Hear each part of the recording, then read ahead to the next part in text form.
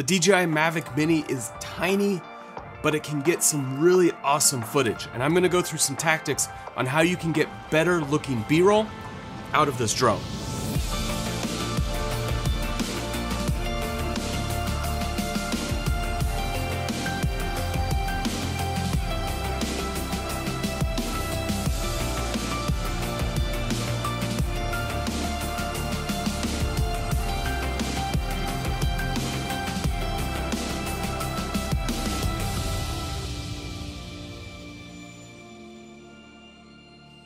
There's been a ton of requests on doing a review around this drone, and I'm working on it. However, I wanted to do a video about how you can get better looking footage out of this camera.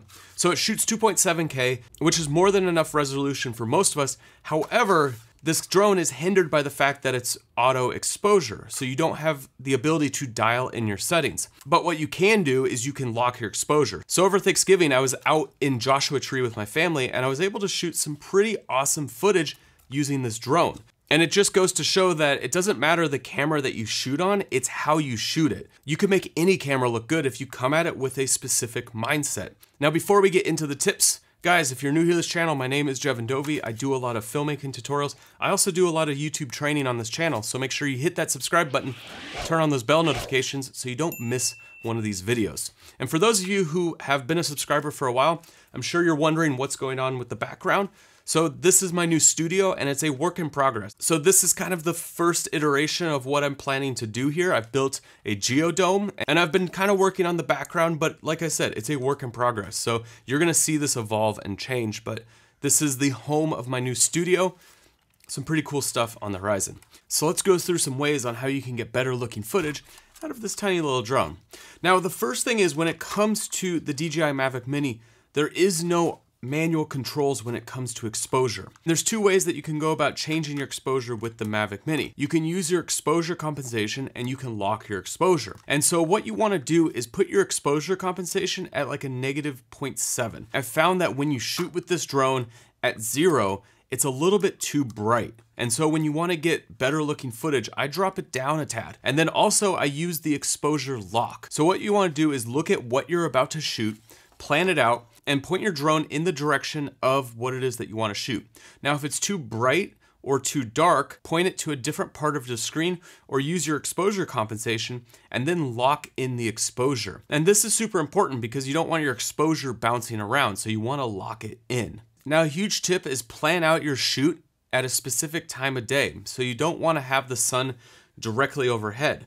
When I was out shooting this footage, it was early in the morning. So use time of day to your advantage. So shoot early in the morning or late in the evening when the sun's lower in the sky because that's going to give you prettier looking footage. Now with this, you also want to shoot away from the sun. So you don't want your DJI Mavic Mini pointed towards the sun because what's going to happen is you're to get this crazy contrast. I mean, look what happens when I point the drone in that direction. I have black and white basically. So what you want to do is find different shot perspectives that aren't including the sun in the shot. And that's a huge tip is avoid the sun. Have it behind you, have it off to the side, but don't actually include it in the frame because you want to fill your frame with exposures that you can see within the camera's sensor. So you don't want to have major parts of your frame overexposing and the same, you don't want to have major parts of your frame underexposing. So you're going to want to find the angles that are going to best suit the scene that you're shooting so that you have a decent dynamic range because you're not shooting log out of this thing, you're just shooting a baked in profile. So you wanna get the best possible image when you're out shooting. You're not gonna be doing a ton of color grading in post with this footage. You can push it a little bit. However, just right out of camera, this is what it looks like. So you can get good looking footage just straight from camera. Now you also wanna think about using the sun to your advantage. So if you just have a flat image, say it's just gray clouds, and it's just a very flat looking image, that's just as bad as a super over contrasted image.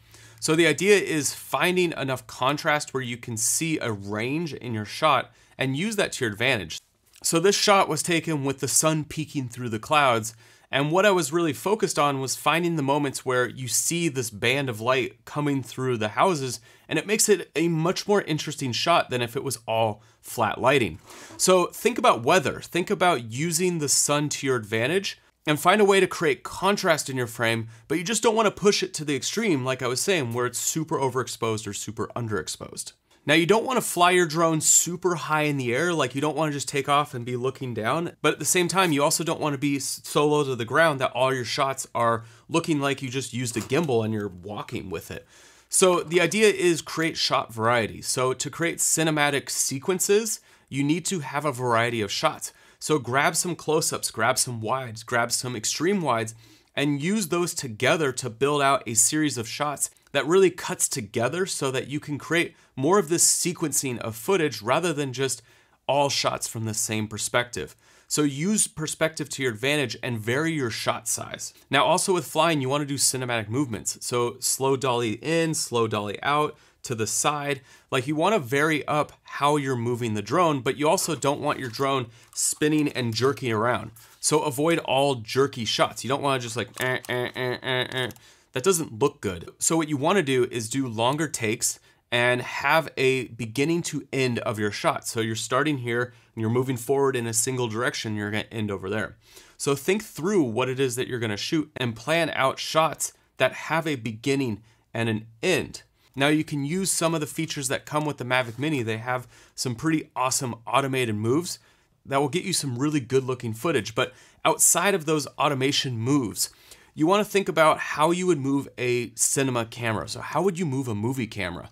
It wouldn't be like spinning all over the place and like jerky and this and that. No, what you see in cinema are thought out shots with intention. So I have a few other videos that really break down flying techniques to get these cinematic shots, and I'll put links to all of those videos down in the description. But the last tip I wanna give you is have a story to everything that you're shooting. And this is important. It doesn't matter if you're just out flying for the day, try to create some sort of story, some sort of sequencing. Because when you have a story behind everything that you're shooting and you create a narrative with the shots, that's when you'll start coming up with a sequence. You're like, I need to get a close up of the Jeep, then I need to find a medium shot where I see the Jeep in the frame, some Joshua trees, and then I need to show the wide shot of the rainbow in the distance and the Jeep driving. Or I need to get a, a shot without the Jeep and just the rainbow with the Joshua trees. And so you start thinking of, okay, so how do I tell this story of the Jeep driving through the desert with the rainbow?